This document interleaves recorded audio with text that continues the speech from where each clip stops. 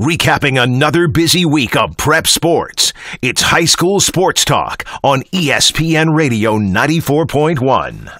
Welcome back to this edition of High School Sports Talk presented by VirginiaPreps.com on ESPN Radio 94.1 for the 4th of May. It's Kentucky Derby Day and Cinco de Mayo weekend. With the coach Ed Young, I am Matt Hatfield, and Ed, we're joined by a special guest right now, a longtime veteran football coach in the area, one of the most respected, and uh, taking a move from Greenbrier Christian to now the new head football coach at Bishop Sullivan Catholic in Virginia Beach. We say good morning and congrats to Coach Tommy Austin. Coach, how you doing out there?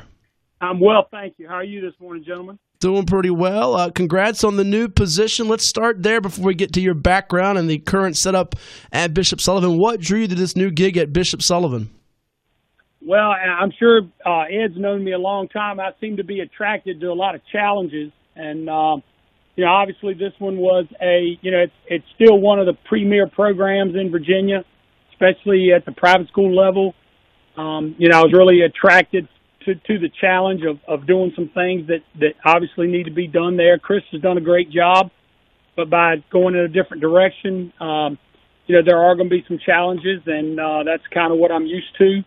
Uh, it was a, a tough decision to make to leave Greenbrier because, you know, I've, I've enjoyed my three years there, a lot of great people there, a lot of great kids, but just, um, you know, the ability to go and do something that I've, I, I haven't done uh, in a long time, and that's uh, take over a situation that uh, where they've been winning, but you know they're they're going in a different direction, and um, just that challenge and opportunity to be there. Great people at Bishop, and and the feeling was mutual about about the direction the program needs to go in. So I'm looking forward to it. I'm excited to get uh, get things rolling next week, and um, we we got some work to do, but that that's not unusual anywhere you go. Tommy, man, I, I, it's great to hear from you. Um, I'm sitting here smiling as you talk, and I'm flashbacks in my head. Uh, I, I, know it's missing in my life. Sit down talks with Tommy Austin that we used to have way back, way back in the day. Um, you learned me some things, and uh, I'm I'm happy for you. But I'm still trying to catch up. When Matt said we're going to go over your background, we only have 37 more minutes left in the show. I don't think we can do that because no, I, I don't. I don't think you can cover the whole career in just 37 minutes. I think you're gonna have to narrow it down to one or two. Yeah, because you're you're the original traveling man, yeah. and you won't even talk about you were on three space shuttles. You were on the first ship to Mars. You coached the first team on Mars, and, and they I'm, had mannequins made after you in stores. So you've been all over.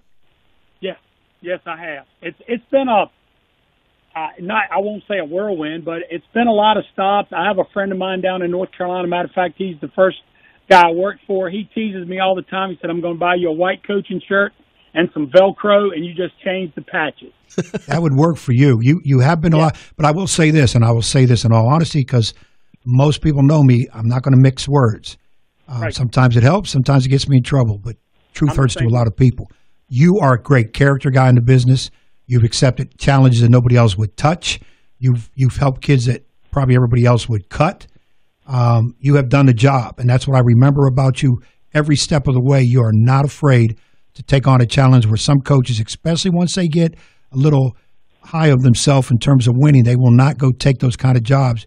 You have no problem building programs. You're you're one of the best character guys in the business, and that will not change. Thank you. I appreciate that. I, I take that as a very uh, a very high compliment coming from uh, someone I respect as much as I do you.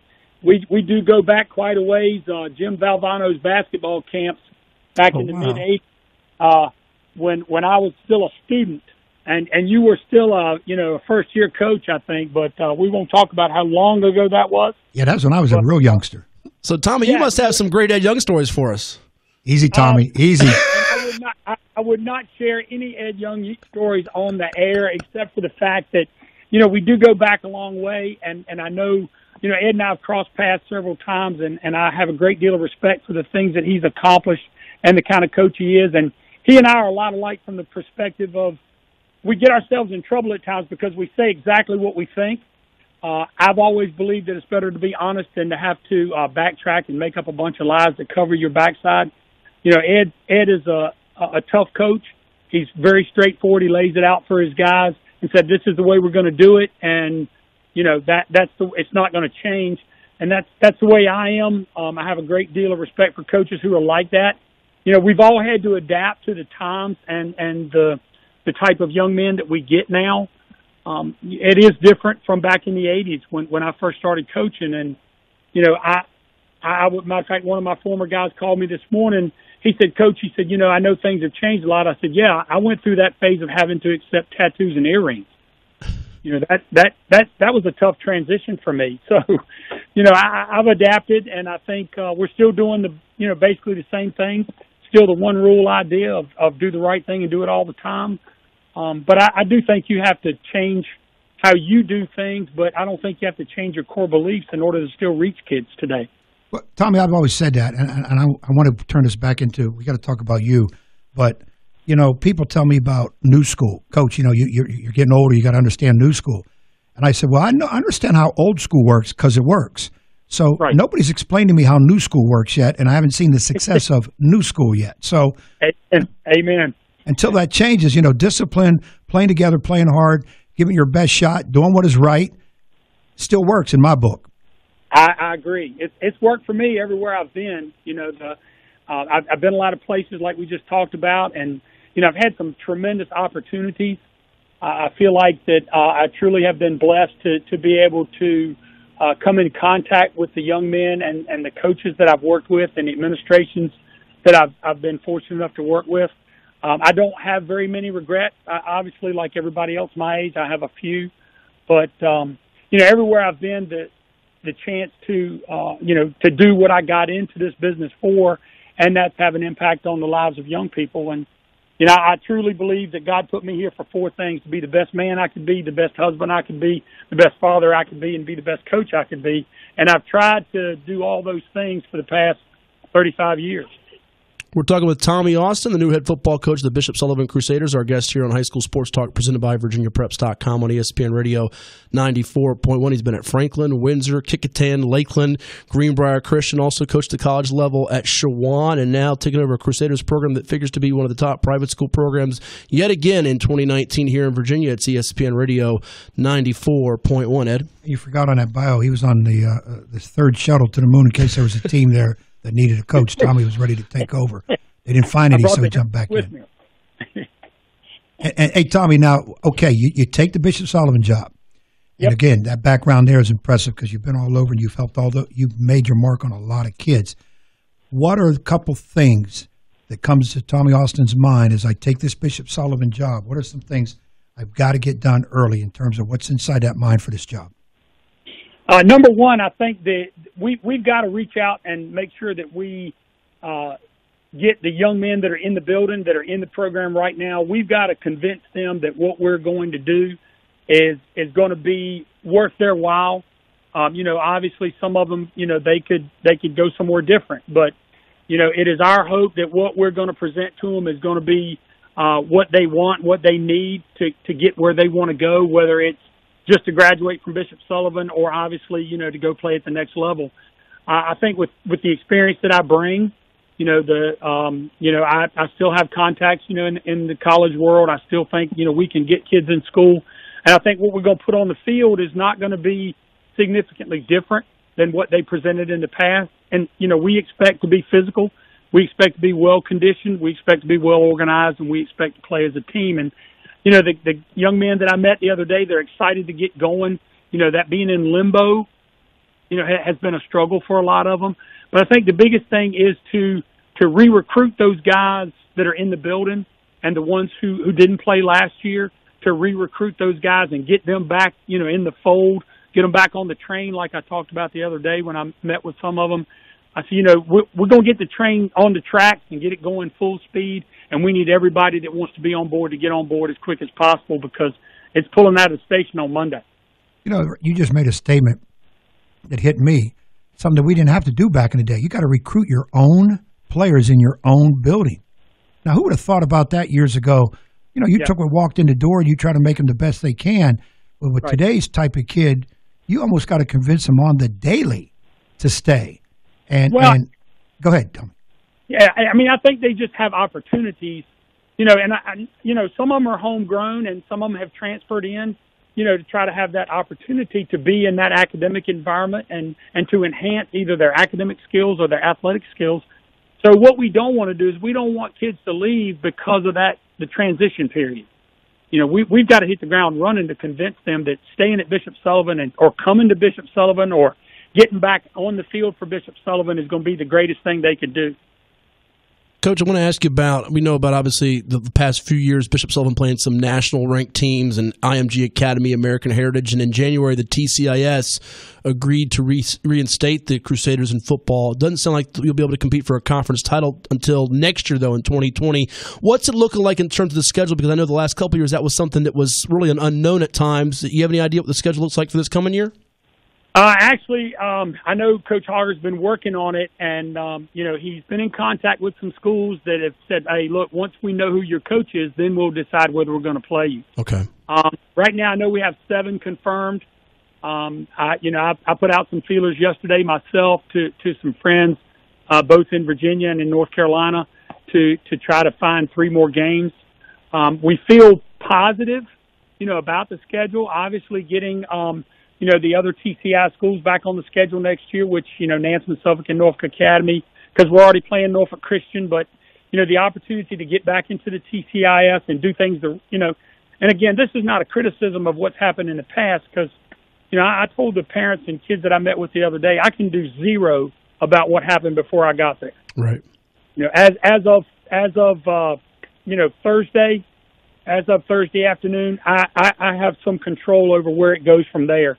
But uh, you know, not to criticize what what's happened in the past, but we've got to get back in good graces with the people in the state of Virginia and prove to them that we're doing things not that they were being done wrong, it's just being done different. You know, before now we we're going to do things differently. We're going to be a, a, a good neighbor. We're going to be a good member of the of VISA and a good member of the TCIS.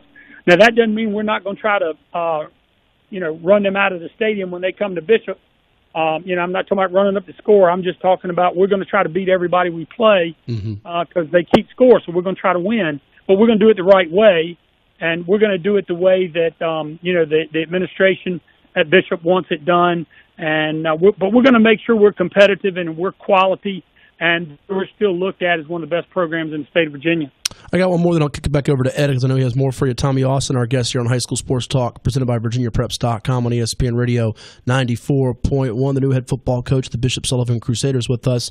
Uh, your most recent stint, Greenbrier Christian, they, they've been a TCIS member, so the transition there from private school, private school shouldn't be too difficult from that standpoint. But also, I know that was a challenge for you, eight man football. Kind of speak on leaving that program and the challenges you took there that you can apply to your new situation. Well, and you know, one I was I, you know, I would like to think I was one of the driving forces behind, but with John Blake and, and some others up, you know, John from uh, St. Anne's Belfield to get the eight man league going, uh, because Coach Moore, the AD at Greenbrier and I, we could, you know, we could see the future that Greenbrier was going to have a hard time not only competing in the TCIS, but being able to field an 11 man team every year. So don't get me wrong, I love eight man. Uh, I, I didn't leave Greenbrier because, you know, because I didn't like eight man. I love eight man. Uh, you know, they say the spread offense is basketball on grass. Well, eight man football is basketball on speed on grass. Um, you know, it's it's fast and it's exciting, and there's a lot of offense. Uh, as a defensive uh, minded coach, it's it's terrifying every week. But um, you know, the the eight man concept and and the kids that we had that committed to football at Greenbrier uh, we're doing a great job, and the program is going to continue to grow. There's a core group of young men there that have that have bought into the eight man concept, and, and they're you know I told them I said I'll be very upset if you guys don't win a state championship without me in eight man. Uh, private school to private school, you know there are a lot of similarities. You know I'm familiar with the TCIS. Um, you know I you know been around a long time, been in the area a long time. Have a lot of friends that have coached in the TCIS. Um, you know I was part of the two organizations that started the playoffs for football and baseball. Uh, you know, way back before VISA even existed, you know, we created uh, leagues for football and baseball to have all state teams in playoffs, and you know, I was I was fortunate to be involved in that er, in the early years. But um, you know, I, I think that being being back in the TCIS is going to give us a lot of advantages. I think it's going to give us an opportunity for our young men not only to compete for that conference title, but it will enhance our opportunities to, to make the playoffs and, and compete you know, obviously everybody wants to win championships. That's not our number one priority. But if you don't start talking about, you know, being in the playoffs and being in the championship games the first day, you know, then what are you, what are your goals? You know, I mean, uh, I talked to some guys down at Clemson. You know, their goal is to win the state championship, win the ACC, and win the national championship every year. Is that going to happen? Probably not. But you, you know, you set your goals thinking about you know winning the first game, winning at home, and that that's where we are. Tommy, are you at liberty to mention anything about assistant coaches? Uh, can you divulge that, or are you still working on that? Well, I'm I'm working on that right now. I've talked to a few people. Um, Coach Hoggard has agreed to stay. Um, you know, he's one of the best offensive line coaches in the state of Virginia, um, and and I've I've asked him if he would stay, and he he's agreed to do that. Uh, you know, on top of his AD duties, uh, we have he has talked to a few guys. I have talked to a few guys. Um, you know, somebody asked me at the press conference the other day if I was bringing anybody from Greenbrier. Uh, the folks at Greenbrier, for the most part, they have strong connections to the school and you know either their their their children are there or their their sons are still playing you know some sport there so you know they're going to remain there um I, I do believe that i'm going to be able to get uh i don't you know i'm one of those guys i don't i don't need a big staff you know because i want guys who are going to coach both sides of the ball and buy into what we're doing uh you know year round if possible and uh i think that you know we're going to have we're going to have more guys that are probably going to have to do do double duty we hope you know, not everybody every game, but uh, you know, I think the opportunity to do that. So we're gonna, you know, I'm looking for two guys. We're gonna, you know, do some advertising on Football Scoop, and you know, put we put the word out, you know, through word of mouth, through friends, coaching friends, and things like that. And you know, I expect we'll within the next two weeks we should have uh, have some guys in place. Uh, I don't want to mention any names right now because uh, you know they th- there are a couple of guys that I've talked to that you know, have currently have coaching jobs, and I certainly don't want to, you know, stir the pot, you know, for anybody else or get them in any trouble where they are until they make up their mind. Sure. My last question for you, Tommy, is: um, Are you wor- going to be teaching, working at the school? Yes, I'll be teaching uh, in the phys ed department. Okay. Well, Coach, congrats again on the job. We're happy for you. Uh, our man Thomas Simmons, our producer, is a Bishop Sullivan guy, and Ed Young's a Tommy Austin fan. So we'll have to get out there to Finch Field for a game or two this year, all right? thank you so much, and I appreciate the opportunity to talk with you and uh, this morning, and I certainly appreciate the attention you're giving to our program. And uh, Ed, it's good to talk to you again. Matthew, it's good to talk to you, and I look forward to seeing you guys at, at Bishop anytime. You're welcome. Absolutely. Thank you so much, Coach. We'll talk, Tommy. We'll talk.